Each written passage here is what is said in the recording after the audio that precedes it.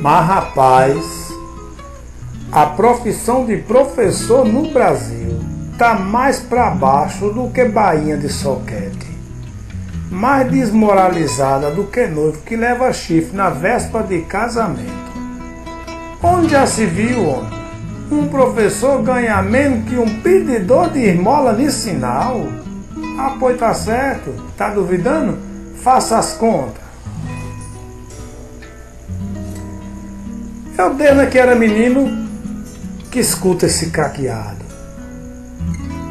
Que o capa pode ser homem, nesse Brasil aletrado, carece no mínimo de uns dois adjutórios, ou nascer rico ou ser formado.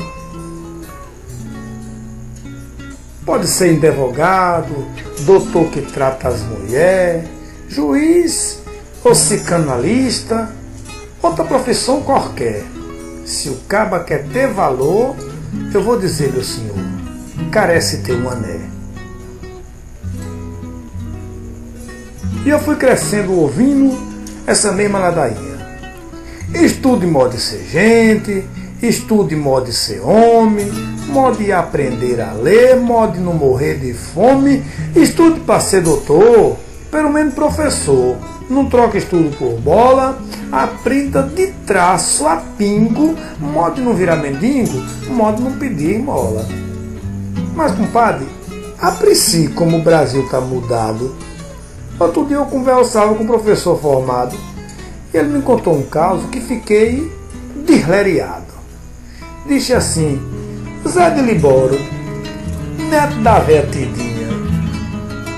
que é meio espadoado, analfabeto, tapado, um Zé Ninguém, um pedinte, um irmolé farrapado, indigente paternar, sem pai, sem mãe, sem bornar, sem ter onde cair vivo, pois por peste cair morto, cai mesmo em qualquer lugar, me encontrou nesse sábado com cara de Derdantonte, com cara de São Cristão que cuspiu em relicário, e falou com todas as letras, sem mentira, sem mutreta, que agora é empresário.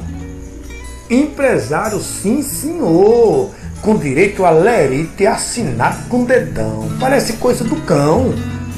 Pois eu, modo de ganhar mil real, pode dizer, meu irmão, eu trabalho por semana exatas 40 horas. Não posso fartar um dia, não posso contar história, não posso atravar Silvilso se eu fartar tantinho assim, cai cabe em riba de mim, que mais parece Romero em riba de Palinciso. E fim de mês é desconto, rapaz, que me aparece. É o Vale do Transporte, é INSS, é do Vale Refeição, PASEP FGTS, pois o salário do pobre, quando se acha que sobe, o excomungado desce. Enquanto eu estou me esticando que nem corda de viola, Zé Libório ganha um estufo apenas pedindo esmola. Faz vergonha até falar nessa terra brasileira que um homem do meu quilate, um professor de primeira, não tem um salário igual, pelo perdão da má palavra, do nome da bagaceira, não tem um salário igual a um empresário informal de boca de sinaleira. Apoie, anote o nome do tal profissional.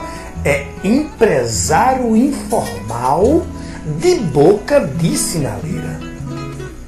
De 30 em 30 segundos, só sucede o seguinte: o sinal se fecha e abre, uns dá 10, outros dá 20, outros dá nada, outros xinga, Zeriboro sem agravo. Leva assim meio minuto 30 ou 40 centavos. Só sei que em uma hora é 24 real. Nas 120 pedição das paradas de sinal, 30 minutos de folga, dá para bicar uma cana entre uma e outra vez. E se o PS trabalhar 25 dos 30 dias do mês, é salário de doutor, 4.800. Aquele cabalodeiro está ganhando, meu senhor. Isso é o cálculo exato não estou falando besteira. Isso sem falar das vezes que recebe de um real. Pode até descansar e esperar novo sinal.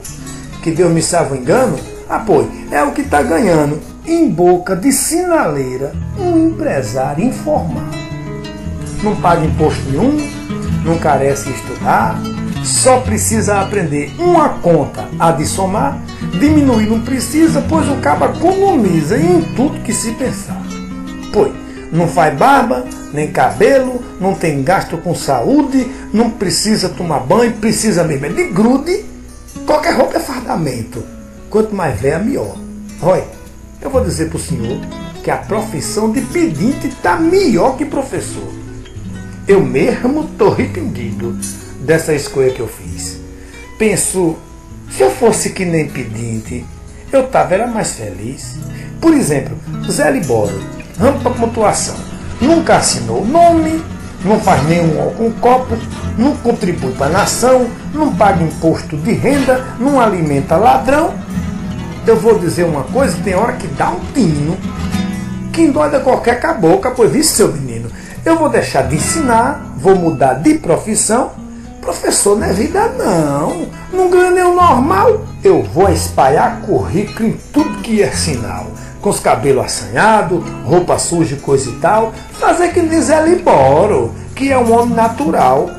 Nem mais um pio de escola, tá melhor pedir esmola.